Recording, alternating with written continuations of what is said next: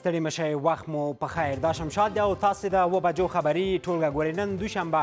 د مرغومې یا جدي شپږمه او د ډسمبر میاشتې ویشتمه نیټه ده په دې خبري ټولګه کې مو له سیاسي امنیتي او اقتصادي مسایلو سربیره د نړۍ له مهمو پیښو او تحولاتو هم خبره وکړو په سر کې د مهمو خبرونو سرټکي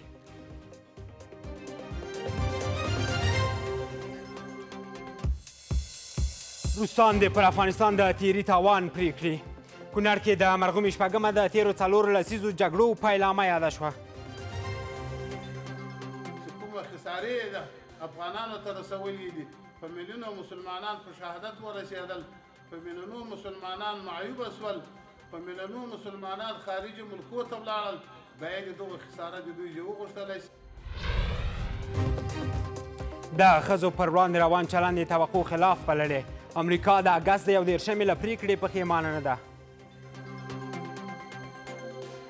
د امریکایي ځواکونو په اړه غږېدی زه د خپل حکومت د دغه پریکړې په اړه هیڅ پښیمانه نه یم اقتصاد پوهان د سقوط په معنا بولي خصوصي بانکونه د مرکزي بانک سپارښتنې او د پیرودونکو غوښتنې نه مني در حالت هستند که مصرف میکنند آید ندارند به اون منظور است که اینا هم توانایی پرداخت یک بارگی پول ها را ندارن او په فلیپین کې د توپانونو له امله د مړو شمیر کابو څلور سوه ته ورسید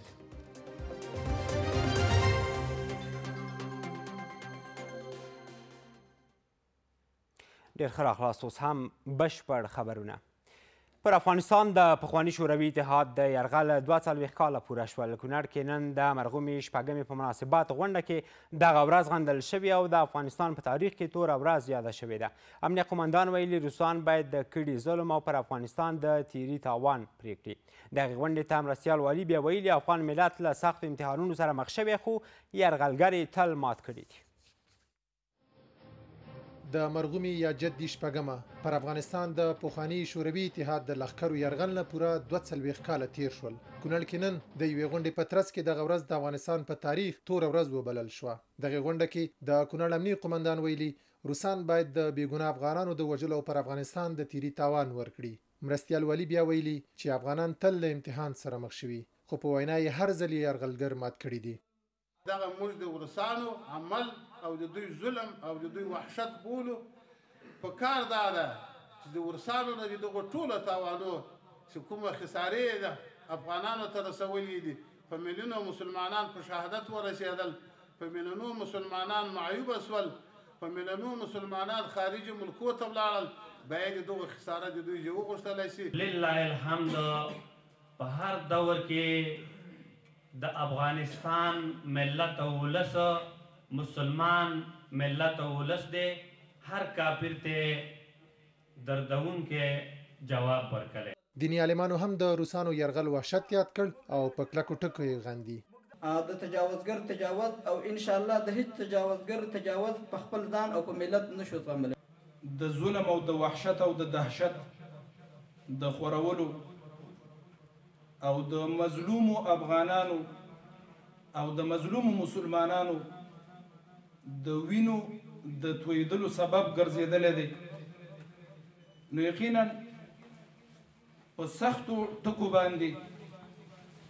منګه دغه وحشت غندو او دغه وحشت مزمت او بدی بیانو قومي مخورو د جدي شپږمه د افغانستان لپاره توره ورځ وبلله. دا هغه ورځ ده چې د موږ د خانقاه خلیفه صاحبان استادان لاسو ته ولچکې لوېدلې وې او نن تر ننه د هغوی لا درکه دي کفري نړۍ د هغې شوم اهدافو کې ناکامه شوه چې هغه غوښتل چې د مسلمانانو چې کوم هغه زیرمې دي مالي هغې ته ځان ورسوي، خلیج ته، تیلو ته او د افغانستان لاره دا د هغې لپاره یو مرمر او پولې. دوه څلوېښت کاله وړاندې په همدې ورځ د شوروي اتحاد لښکرو پر افغانستان یرغل وکړ چې له امله یې یو نیم میلیون وګړي شهیدان، یو نیم میلیون معلولین او په میلیونونو نور هېواد پرېښودو ته اړ شول. د افغانانو د څه باندې څلورو لسیزو بدبختۍ پیلامه د جدي شپږمه پر افغانستان د سرو لښکرو یرغل یادیږي، چې لا هم میلیونونه افغاناني د بدو پایلو څخه اغیزمن دي. د امریکا د ولسمشر مرستیاله په افغانستان کې د ترهګرو ډلو پر وړاندې مبارزې ته اندېښمنه ده کمالا هارس به ځانګړې مرکه کې ټینګار کړی چې له افغانستانه له وتلو وروسته هم افغان ولس سره بشري مرستو ته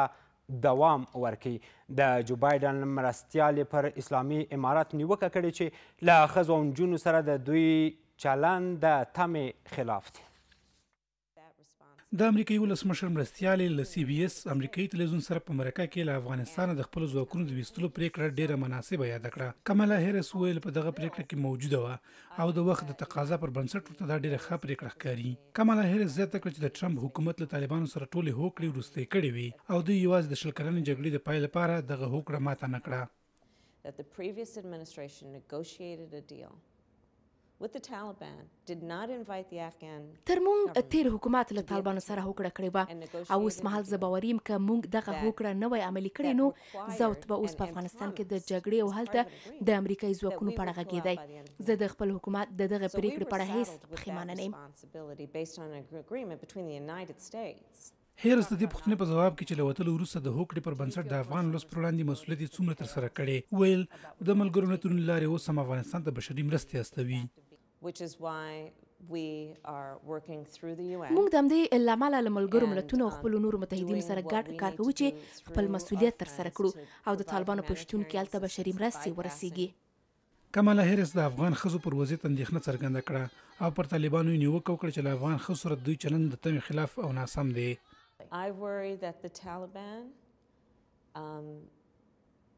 has not زه د افغان ښځو او نجونو په اړه ډیر اندېښمنه یم طالبان له هغوی سره څه ډول چې په کار ده هغسې چلند نه کوي موږ چې په دې تړاو له طالبانو څه ډول تمه لرله د هغه خلاف کار کوي موږ د دغه چلند په اړه ډیر اندېښمن یو د امریکایي ولسمشر بایډن مرستیالې کمالا هریس د ترهګرۍ پر وړاندې د اسلامي امارت پر مبارزې هم شکمنې څرګندونې وکړې او زیاته کړه چې اوس هم د بېلابېلو ترهګرو ډلو لوري دوی ته پیښ ګواښ پای ته نه دی رسېدلی له افغانستانه د امریکا له وتلو وروسته اوس هم واشنګټن د کابل په چارو کې لاس وهنه کوي د هوایي حریم نیولې د پیسو کنګل او د ټولشموله حکومت بار بار غوښتنې او شرایط هغه ټکي دي چې د افغانستان په کورنیو چارو کې د امریکا لاس وهنه په ډاګه کوي طالبانو بیا ټینګار کړی چې نه د چا په هیواد کې لاس وهنه کوي او نه به څوک پریږدي چې د دوی په چارو کې لاس وهنه وکړي امریکا په افغانستان کې د خپل پوځي حضور له پای ته رسیدو وروسته خپلې اړیکې په سیاسي چوکاټ کې تعریف کړي او کابل سره به د واشنګټن راتلونکې اړیکې په بشري او سیاسي برخه باندې متمرکزې وي خو د افغانستان شتمنۍ کنګل د افغانستان پر هوایي حریم د یاد هیواد د ډرون الوتکو ګزمې او پر طالبانو دا فشار چې خپل حکومت دې ټول شموله کړي د افغانستان په کورنیو چارو کې د امریکا ښکاره لاسوهنه بلل کیږي په افغانستان کې د امریکا د مستقیمې لاسوهنې ګڼې بېلګې شته. همدا مهال د افغانستان په هوایي حریم کې امریکا مستقیمه مداخله لري. که افغانان وغواړي هوایي ډګرونه یې کوم هېواد ته په قرارداد ورکړي، په دې کې هم د امریکایانو توافق شرط دی. د همه شمول حکومت غوښتنه، د ښځو حقونو غوښتنه او د افغانستان د پیسو کنګلول دا ټول هغه موارد دي چې زما په نظر یې طالبان د افغانستان په چارو کې د امریکا مستقیمه لاسوهنه بولي. خو څنګه کېدای شي چې امریکا د افغانستان په کورنیو چارو کې لاسوهنه ونه کړي؟ افغانستان یک کشوری است که به خاطر موقعیت ژئوستراتژیک خود همیشه زیر خطر ابرقدرتها بوده حال امریکا از افغانستان برآمده اما ما فکر میکنم که با کلام نیک ما میتونیم که اول می پول ما که در اوجه مانده او را دوباره حاصل کنیم نه با اختار کلام نیک رفتار حکیمانه دیگر چاره ای نیست فعلا. کارپوهان وايي، امریکا او نړیوالې ټولنې افغانستان کې زیاتې سرغړونې کړي، خو اسلامي امارت باید د نړیوالو یو شمېر غوښتنې ومني او په دې دې نه تلقي کوي چې ګواکې د افغانستان د ملي ارزښتونو پر خلاف دي. دې کې شک نشته چې نړیواله ټولنې د امریکې په شمول د افغانستان په برخه کې ډېرې تېروتنې کړې دي، تخلفات یې کړي دي اما د مبدا له لحاظه د مبدې له لحاظه طالبانو ته په کار ده چې په حال راشي د نړیوالو یو سلسله اصولو مراعات وکړي دا په د معنا نه ده چې د افغانستان د خلکو د ارزښونو په خلاف د اسلام د ارزښونو په خلاف یو سلسله په اصطلاح ګذشتونه وکړي. اسلامي امارت او امریکا متحده ایالاتو خپلو کې د دوحې هوکړه لري چې په اساس یې دغه هیواد د افغانستان څخه له وتلو وروسته له نوي جوړیدونکي دولت سره ښې اړیکې او همکاري لري خو اوس داسې ښکاري چې امریکا غواړي پر طالبانو خپل فشارونو ته دوام ورکړي تر څو په یو شمېر مهمو مسایلو کې کابل له واشنګټن سره پرېکړې او مشورې وکړي، خو اسلامي امارت په یوه اعلامیه کې ټینګار کړی چې هېوادونه دې د دوی په چارو کې له لاسوهنې ډډه وکړي. افغانستان د هیڅ بل هېواد په کورنیو مسایلو کې مداخله نه کوي او بل چا ته هم اجازه نه ورکوي چې زموږ حقه حقوق تر پښو لاندې کړي. او په داخلي چارو کې مو لاسوهنه وکړي. افغانان د یو سوله دوست ملت په توګه غواړي له نړیوالو سره د اسلامي اصولو په چوکاټ کې ښې او قوي اړیکې تامین کړي. تر اوسه پورې اسلامي امارت خپله بهرنۍ تګلاره نه ده اعلان کړې، په تېرو شلو کلونو کې د افغانستان بهرنی سیاست امریکايي محوره وه، په کور دننه هم ډېر هېوادونو د یو شمېر احزاب او ګوندونو په وساطت افغانستان کې زیاتې لاسوهنې کولې. د هرات ولایت د امر بالمعروف او نهی عن المنکر ریاست ویلي هر ډول موسیقي له شرعي اړخه حرامه ده او د دې ولایت خلکو نه غوښتي چې له اورېدو او غږولو یې ډډه وکړي د امر بالمعروف او نهی عن المنکر ریاست په ودونو د خوښیو مراسمو موټرونو او هر ډول غونډو کې د موسیقۍ په غږولو بندیز لګولی دی امر بالمعروف ویلي، ښځې باید په هوټلونو، کافي شاپونو او د راټولېدنو ځایونو کې خپل حجاب مراعت کړي. د هرات امر بالمعروف دغه راز د حیواناتو جنګول او کوتربازي هم له شرعي اړخه حرام او ګناه بللې او منع کړي دي. د هرات امر بالمعروف ویلي، په ورزشي جمنازیمونو، ورزشي غونډو کې د نامه تر زنګونو پورې د انسان بدن عورت دی او باید حجاب یې او وساتل شي مالی وزارت د راتلونکي مالی کال بودیجه برابره کړې او زیاتی چې پراختي پروژې پکې محدودې دي دا چې د څوارلس سوه یم مالی کال ټوله بودیجه څومره ده په اړه یې مالی وزارت څه نه وایي خو زیاتی چې دا لومړی ځل دی چې بودیجه له خپلو کورنیو عوایدو تمویلیږي یاد وزارت وایي ډېر ژر به یاده مسوده د تصویب لپاره د وزیرانو شورا ته وړاندې کړي مالیې وزارت د راتلونکي مالي کال د بودیجې مسوده ترتیب کړې او د راتلونکې یوې اونۍ په موده کې به یې د تصویب لپاره وزیرانو شورا ته وړاندې کړي. یاد وزارت وايي، د څوارلس سوه یو مالي کال ټوله بودیجه یې له کورنیو عوایدو تمویل کړې او پر بهرنیو مرستو نه ده ولاړه. مالیې وزارت تمه لري چې وزیرانو شورا به د روانې مرغومې میاشتې تر پایه د بودیجې مسوده تصویب او د پلي کېدو لپاره به اړوندو بودیجهيي واحدونو ته وسپارل شي. د بودیجې مصوبه تیاره شوې ده په وزارت کې تقریبا کار یې خلاص دی او دا په تیرو شلو کالو کې زموږ د دولت لومړنۍ د افغانستان دولت لومړنۍ بودیجه ده چې پر خارجي مرستو تکیه نه ده یعنی ټوله مو خپل پر خپل د عوایدو پر اساس مو جوړه کړې ده نو مالیې وزارت څخه یې کار خلاص دی دا به د دې وروسته وزیرانو شورا ته ځي د تصویب لپاره چې کله هغو تصویب کړو نو سیستم ته یې وراچوو او راتلونکي مالي کال به موږ د خپل بودیجې مطابق مخ ته ځو. مالیې وزارت وايي، د عادي بودیجې د تمویل په برخه کې هېڅ ډول ستونزه نه لري او له خپلو عوایدو یې برابره کړې، خو د پراختیايي بودیجې په برخه کې ځینې ستونزې موجودې دي او په دغه بودیجه کې محدودې پراختیايي پروژې نیول شوي. د مالیې وزارت ویاند احمد ولي حقمل وايي، که د کال په نیمايي کې عواید لوړ شي، بودیجه کې به تعدیل رامنځ ته او زیاتې پراختیايي پروژې به په کې ځای پر ځای کړي. په عادي بودیجه کې موږ مشکل نه لرو، عادي خو دا دی دا درې څلور میاشتې کېږي موږ عادي بودیجه هم د خپل داخلي عوایدو څخه پوره کوو، ولې راتلونکي کال لپاره مو انکشافي پروژې هم په نظر کې نیولې دي، که څه هم نسبت پخوا ته به یو څه محدودې يي خو مدنظر مو نیولې دي، اما که د کال په مينځ کي عوايد مو نور ډير سوه يا د د اري لاري چي وه عوايد مو نور ډير سوه بيا به بوديجي کي تعديلات راځي او انکشافي پروژې به نوري هم پکښي ځای پر ځای کيږي. خو اقتصاد پوهان بيا وايي بوديجه يوازي د وزارتونو د لګښت پوره کولو په مانا نه ده بلکي د بوديجې له ترتيب اصلي موخه د هيواد په ګوټ ګوټ کي د پراختيايي پروژو پلي کول او ولس ته د خدماتو وړاندي کول دي.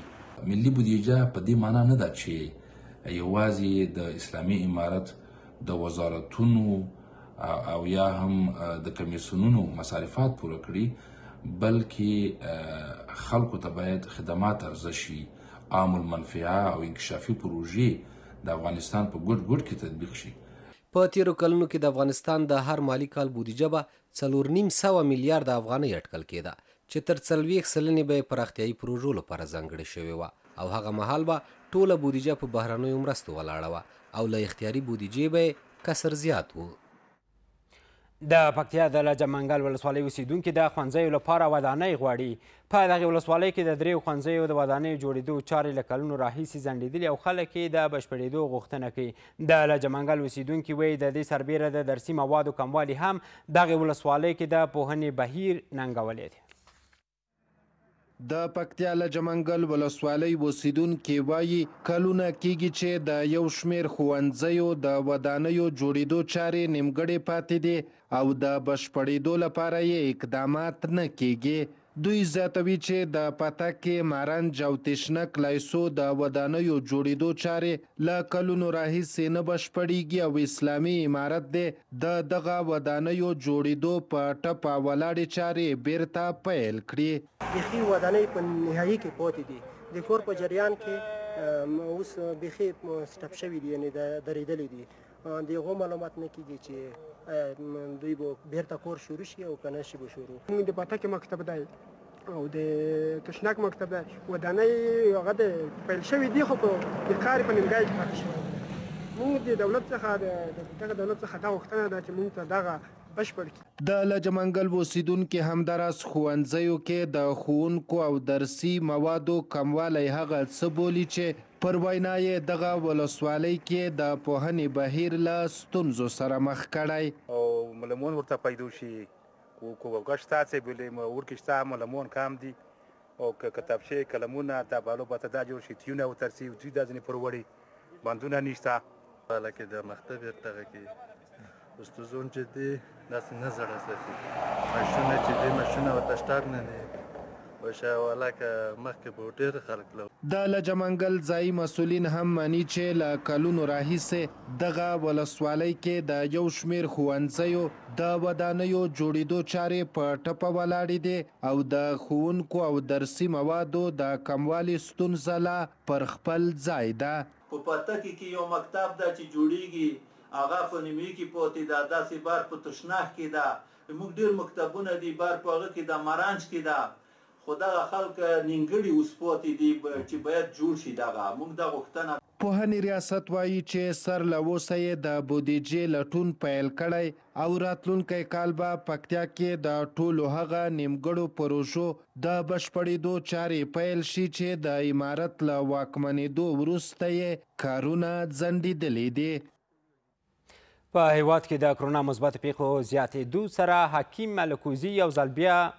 د دوا ویش پیل کړي الکوزي وایي په ټوله نړۍ او ځانګړې توګه افغانستان کې د کرونا ویروس څپه د زیاتېدو په حال کې ده او غواړي چې په دې برخه کې خپل مسؤلیت ادا کړي. هغه وايي، دوا یې له تېرو دوه کلونو راهیسې کارول شوې او تر اوسه یې په هیچا کوم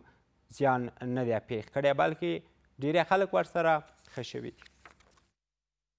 افغانستان کې د کرونا څپې د بیا زیاتېدو سره سم افغان حکیم محمد الکوزي یو ځل بیا د خپلې دوا د وېش لړۍ پیل کړه.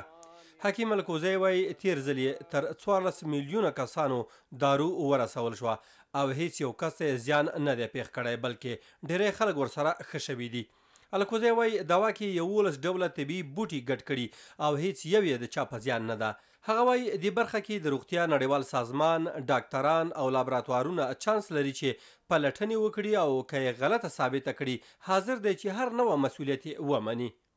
دواي ما به هر مرض کا پيس و ميکرون چيس ني آلي ما به دنيا چيلنج مي تنکي وي از دواي ما استفاده بکو در د رسنۍ په مخ کې د زموږ د دوا څخه استفاده وکړي موږ دې چیلنج کې چې الکوزی صاحب رښتیا وایي که دروغ وایي اوس زموږ دغه جهان ته وايي چې ياره راسئ زموږ سره سوال وکړئ او ستاسو په مخ کې به زرو کسو مريضانو ته دوا ورکړو که په زرو کې پنځه نفره نه شوه جوړ موږ يې ملامت حکيم وايي دوا يې د اوميکرون بڼې کرونا لپاره هم اغېزناکه ده او په وينا يې خپله اوميکرون بڼه ډېره ګواښونکې نه ده. حکيم د تېر حکومت د عامې روغتيا وزارت له مسؤلينو ګيله وکړه چې د ده نوم يې بد کړی و او له اسلامي امارته غواړي چې د ده ملاتړ وکړي. یو ځل بیا موږ غواړو چې د امارت اسلامي زموږ سره په دې کې لکه مخکې چې مرسته کړې وه بیا هم زموږ سره په دې بېشلو کې د دوا په دغه کې زموږ سره مرسته وکړي او موږ غواړو چې د یوې هفتې دپاره په کابل کې دا دوا توزیع کړو او بیا د یوې یوې هفتې دپاره سفر لرو و څلور دېرشو ولایتو ته حکیم محمد الکوزی غواړي څلور دېرش ولایتونو ته سفر وکړي او په ټول هېواد کې خپله جوړه کړې دوا په وړیا توګه وویشي. دی وايي دا ځل یې په کافي اندازه دارو جوړه کړې او کولی شي ټولو هېوادوالو ته یې ورسوي. د حکیم نور ملګري وايي امارت دې یو کنفرانس جوړ کړي او حکیم دې وپوښتي چې دوا یې څنګه جوړه کړې او په دې تړاو دې ترې ټولې طبي پوښتنې هم وکړي. در سطح بلند حکومت باید یک کنفرانس یا د یک مشوره الکوزی صاحب خواسته شوه که از ایشان فرسان شوه و الکوزی صاحب یعنی تیار به ایستن که سوالاتشان را جواب بگویه. د روغتیا وزارت ویاند وویل، په دې اړه به خپل نظر له وزیر او مرستیالانو سره تر مشورې وروسته له رسنیو سره شریک کړي.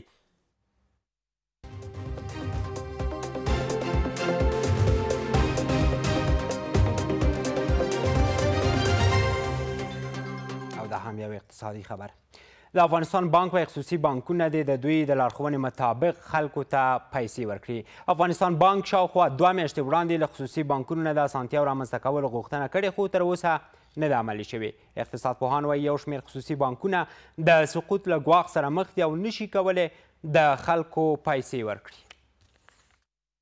دا خصوصي بانکونو ته د افغانستان بانک مکتوب دی چې شاوخوا دوې میاشتې وړاندې لېږل شوی دی. په دغه مکتوب کې له خصوصي بانکونو غوښتنه شوې چې خپل هر پیرودونکي ته د تېر په توپیر باید له اکاونټ څخه دېرش زره افغانۍ او یا څلور سوه ډالر ورکړي. په مکتوب کې همداراز راغلي که پېرودونکي د اونۍ په اوږدو کې خپل دېرش زره افغانۍ نه اخلي باید د میاشتې سل زره افغانۍ ورکړل شي خو نیوکه دا ده چې خصوصي بانکونو دغه مکتوب نه دی عملي کړی او خپلو مشتریانو ته اوس هم هره اونۍ شل زره افغانۍ ورکوي چې خلک یې له ګڼو ستونزو سره مخ کړي دي. او کومې پیسې چې ده یې ویلي چې څلور سوه به شخصي اکاونټو ته ورکول کېږي او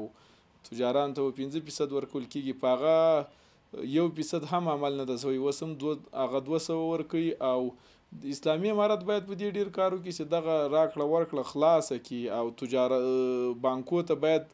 هغه پیسې چې په هر رقم یې یا دوی باید مرسته ورسره وکړي د افغانستان بانک یې ورسره وکړي ځکه دوی سرمایه شته په نورو هیوادو کې چې هغه راشي بیرته دې تر واخلي. یو شمیر نور بیا وایي د افغانستان بانکونه د سقوط له ګواښ سره مخ دي او اوس د دې وړتیا نه لري چې د خپلو پیرودونکو پیسې ورکړي. ورکړي تبادله اسعار که یک بخش از اواید بانک ها بود اجرای ماشات انتقالات پول اینا از جمله اواید حکومت بانک ها بودن که متاسفانه بعد از تغییر نظام سیاسی اینا را همشان عزیز دادن بنان فعلا بانک ها فقط صرف در حالت هستند که مصرف میکنن آید ندارن به اون منظور است که اینا هم توانایی پرداخت یک بارگی پول ها را ندارن د افغانستان بانک بیا وایي، ټول بانکونه مکلف دي چې د دوی له خوا صادر شوی مکتوب عملي کړي او د خپلو پیرودونکو پیسې ورکړي. د افغانستان بانک ټول متحدالمالونه چې صادر شوي دي، بانکونه مکلف دي چې هغه باندې عمل وکړي. د اسلامي امارت واکمنېدو سره سم د افغانستان مرکزي بانک د سرمایې فرار مخنیوي او بانکي نظام ژغورلو په موخه پر خصوصي بانکونو یو لړ محدودیتونه ولګول چې تر اوسه پاتې دي. له خصوصي بانکونو یوې عزیزې بانک دی چې تر نورو ډیر پیریدونکي لري خو د پیریدونکو ته د پیسو ورکولو برخه کې د افغانستان بانک سپارښتنې نه دي عملي کړي. د یاد بانک مسولین په دې تړاو خبرو کولو ته حاضر نه شول خو د افغانستان بانک وایي ټول بانکونه مکلف دي چې د دوی لخوا صادر شوی مکتوب عملي کړي.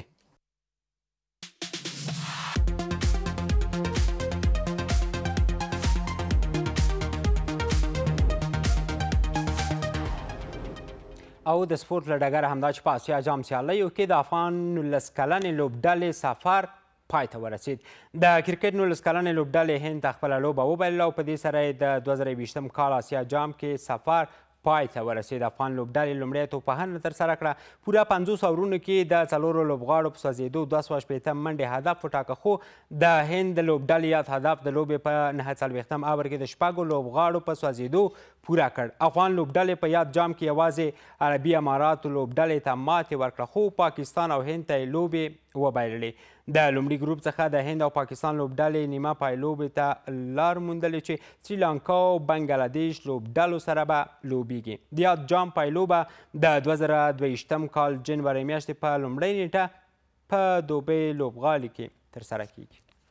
له تاسو او ټولو همکارانو مننه کوم د نن شپې خبري ټولګه مو همدومره وه